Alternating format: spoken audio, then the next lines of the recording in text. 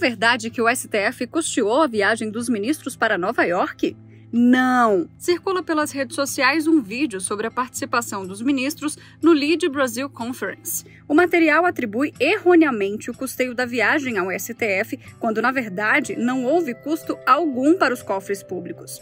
O contrato 54-2022, exibido no vídeo, vigente desde setembro deste ano e com validade de um ano, com possibilidade de prorrogação, refere-se à prestação de serviços de emissão de passagens aéreas nacionais e internacionais, firmado pelo STF com a empresa Orleans Viagens e Turismo LTDA, após realização de pregão eletrônico. Entretanto, este contrato destina-se exclusivamente ao custeio de viagens para representação institucional, que não foi o caso desta. Uma norma interna estabelece que a concessão de passagens e diárias está condicionada à prática de ato ou o exercício das atribuições do cargo ocupado pelo beneficiário. Isto é, o STF não bancou a viagem dos ministros. Compartilhe a verdade, hein? Acesse o portal do Programa de Combate à Desinformação.